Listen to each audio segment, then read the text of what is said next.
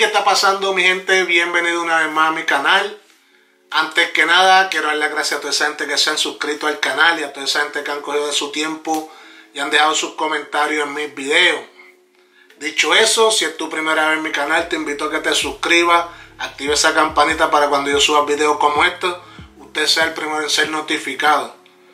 Nada, mi gente, este video ah, va dedicado a un suscriptor. Este suscriptor me dio una idea, ¿verdad?, de hacer este video por la pregunta que él me hizo. Eh, este suscriptor es de Andalucía, España. ¿verdad? El nombre de él es Rafael Soto Sánchez. Gracias, ¿verdad? Por esa pregunta y, y yo pues traté de contestársela de, verdad de lo mejor que pude. Y, de, y, de, la misma manera quise hacer el video porque a lo mejor como él, otras personas pues tienen, eh, ¿verdad? La misma pregunta, la misma duda. Y por eso quise hacerlo por si hay alguien allá afuera, ¿verdad? Que vea este video eh, ¿verdad? Este, piense igual y tenga esa misma duda como le dije. Este suscriptor, ¿verdad? Se comunica conmigo y, ¿verdad? Me saluda y todo eso. Y después me pregunta que por qué las tenis de Kobe Bryant merecen eh, tener ese valor, ¿verdad? Él está hablando específicamente de esta tenis. Y pues yo le contesté, ¿verdad? Eh, como pienso yo que porque es que eh, la tenis, especialmente las de Kobe Bryant, pues muchas de ellas están cogiendo ese valor. Y yo pues le contesté verdad de la mejor manera que yo creo que por qué es. Eh, y yo le dije a él, bueno, primero que nada, la tenis valen ese valor que tiene en el mercado. ¿verdad? Por varias razones. Eh, y una de ellas, pues, como ustedes saben, Jacoby no está entre nosotros. Y lo otro, pues, como ustedes saben, la esposa de Kobe Bryant, pues, no renovó el contrato con la Nike. Pues, ¿qué pasa? Estas tenis van a coger un valor. Eso definitivamente van a coger un valor. ¿Por qué? Porque ahora no van a ser unas tenis de que uno pues se las va a poner, las va a usar. También va a ser una pieza de colección. ¿Por qué? Ya que no se hizo ese, se renovó ese contrato, pues ¿qué va a pasar? Todas las tenis que sean de Kobe, una vez que eh, salgan al mercado, o las que estén en el mercado y se vayan agotando, ¿qué va a pasar? pues todo lo que sea merchandise eh, de Kobe Bryant va a subir, porque ya no va a haber ese, ese, ese merchandise, ¿verdad? Ese, esa mercancía o ese producto. Por ejemplo, vamos a poner por ejemplo esta tenis. Pues cuando se vaya vendiendo y se vayan agotando, pues la tenis va, va a coger más valor, ¿verdad? Vale la pena el precio que, que suban. A lo mejor no, ¿verdad? Porque es una tenis, lo único que puede eh, fue colaboración con Kobe Bryant. De verdad.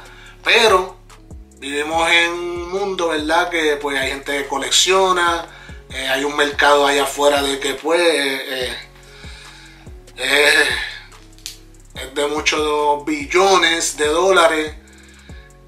Y pues las tenis tienden a, subir de precio, ¿verdad? Porque así que el mercado. Y ahora más porque va a ser una pieza de colección. El que tenga sus piezas de colección, una vez que ya no haya más en mercado, va a tener algo que va a coger mucho más valor que ahora. Eh, igual pasa con, con las Jordan, eh, con otras tenis también, ¿verdad? Por ejemplo, Vamos a poner por ejemplo a Travis Scott.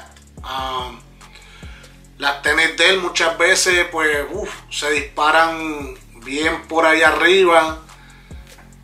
Vas por la sencilla razón, ok, él es un artista que es trending, como uno dice. Más cuando hace la colaboración, las tenis son limitada. ¿verdad? No es como una tenis que salgan, que sea general release, que hacen miles y miles de tenis, a que una tenis cuando hacen una colaboración. De que, ¿verdad? Eh, justo de que las tenis, pues, valgan los precios que a veces se trepan. Creo que no. Pero como yo le contesté a él, yo lo veo como una inversión. Porque muchas de las tenis tienden a, no perder el valor y subir de valor. So, de esa manera es que yo veo las piezas de tenis cuando decido ir por ella. Um, yo he tenido tenis que he pagado hasta 500 dólares por ella. What? What the fuck? Pero como vuelvo y repito, no lo veo como un gasto porque es una inversión. Ah, así es que yo lo veo.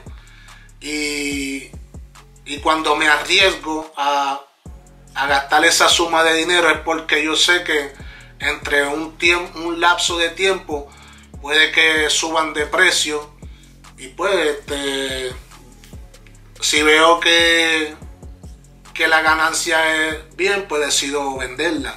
Muchas veces eh, es más por la limitación, ¿sabes? Una vez que, eh, vamos a decir, llegaron a la tienda y si no lograste cacharle ese mismo día que salió, no las vuelve a ver.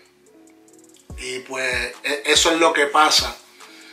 Eh, no es como una tenis general, ¿verdad? General release que pues a veces pues tú vas a las tiendas y están sentadas ahí, sentadas semanas, meses y pues no se mueven. Pero estas tenis así, eso es lo que pasa. Y nada, mi gente, pues ya ustedes saben, si se meten en este mundo de las tenis, pues y lo ven como una inversión, ah, tienen que, ¿verdad? Estudiar un poco este mundo porque a veces pierde uno mucho dinero también. te lo digo porque he perdido también dinero en algunas inversiones, pero de eso se trata. Uno a veces gana y uno a veces pierde. Eh, y el que no se arriesga no sabe, ¿verdad?, si, si va a ganar o perder. Y nada, mi gente, eh, espero que haya gustado el video. Gracias a ese suscriptor por la pregunta. Y nada, mi gente, eh, mañana, hoy estamos a viernes 7, mañana salen las Jordan 7 Flint. Así que mi gente, ajustense en que esas tenis están, se ven fire. Ah, voy a tratar de agarrarlas también para ver si se las puedo traer aquí, hacerle un review. Hoy salieron las Jordan 11 Low. Ah, fui detrás de ellas y pude agarrar un 6.8 por la Sneaker App cuando lleguen, hacerle el review para todos ustedes. Y nada, mi gente, será hasta la próxima. Se me cuidan bendiciones.